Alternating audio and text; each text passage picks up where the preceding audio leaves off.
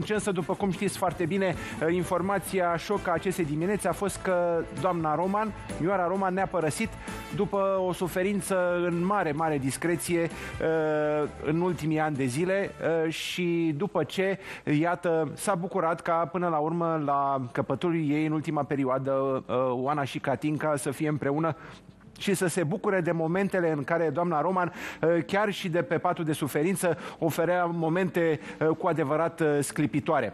Vreau să vă arăt aici o, o, o perlă din biblioteca mea. Este această carte, singura carte scrisă de doamna Roman, Prețul Libertății, însemnă despre Revoluția mea, cu prietenie. Eu eram prietenul doamnei Roman și mă bucur de acest lucru. Este o carte foarte interesantă pentru că arată viața unei femei cu adevărat fabuloase în momentul în care a fost a devenit uh, soția unui demnitar și un profesor universitar ca domnia sa, un uh, jurnalist de elită, a trebuit să fie în spatele unui uh, bărbat puternic și de aici uh, povești cu adevărat senzaționale. Spunea doamna Roman, am fost dăruită cu două fete, acum în floarea vârstei. Am două nepoate după care mă topesc. Sunt încă profund pasionată după civilizația arabă, de a cărei profunzime se leagă cele mai importante lucruri din viața mea intelectuale. Am fost și purtătoarea sarcinii, cum spun țăranii poverii, și poate mai duc încă sarcina de a fi fost soția unui lider proeminent al Revoluției Române și al transformării acestei țări. L-am ținut cum a putut, mai bine, Uh, dar eu nu sunt numai atât. Proiectul doamnei Roman era să-și recupereze libertatea personală și identitatea intimă. Am devenit mai puternică, nu am vrut asta și nu vreau să fiu puternică. Poate mai bună, da, posibil făcându-mi datoria. Cine poate spune? O carte foarte frumoasă, doamna Roman, o, uh, o femeie absolut fabuloasă care mai spunea am luptat toată viața pentru ceea ce mi s-a luat după Revoluție. Libertatea personală. Intimitatea. Înainte de Revoluție, pe vremea ceaușismului, puteau să ți-o îngrădească oricât. Dar te luptai pentru aia. Ți-o protejai din răsputeri, ca orice om obișnuit. Nu reușeau să ți-o ia.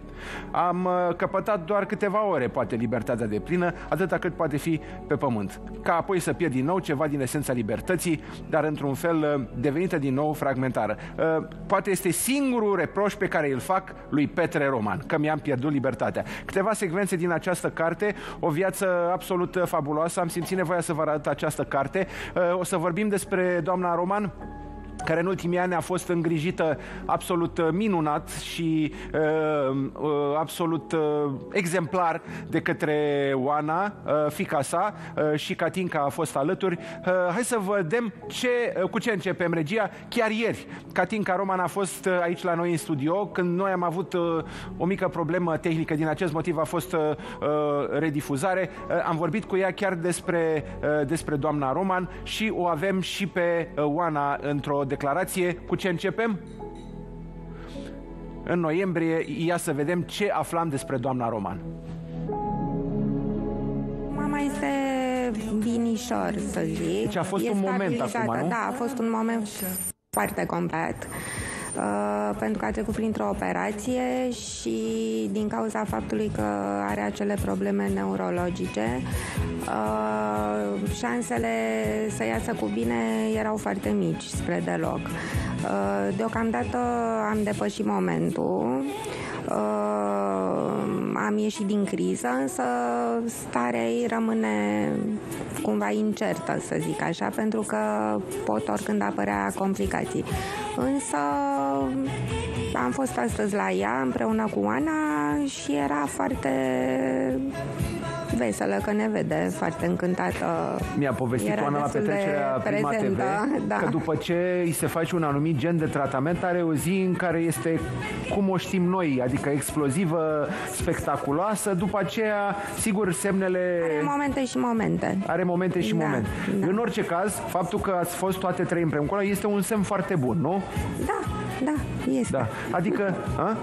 nu că au, au fost tot soiul de discuții în public în care nu mai vreau să intru, dar dacă Oana împreună cu Catinca au fost la doamna Roman, toate aceste discuții au un punct, nu? Punct și sfârșit, nu? Da, normal. Până la urma urmei este mama noastră și cel mai important lucru este să fie bine, cât mai bine, până în ultima clipă.